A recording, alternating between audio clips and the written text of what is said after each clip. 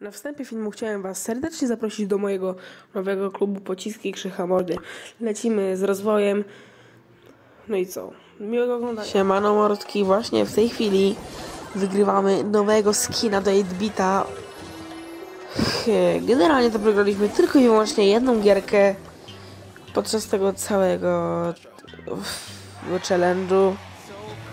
I w tej chwili właśnie Gratulacje, wygrywasz wyzwanie. Oczywiście robimy sobie screenka.